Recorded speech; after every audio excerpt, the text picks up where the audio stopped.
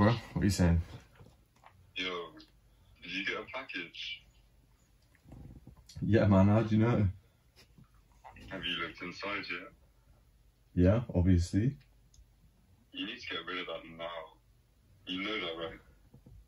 Get rid of what? Just do it. Bye. Uh.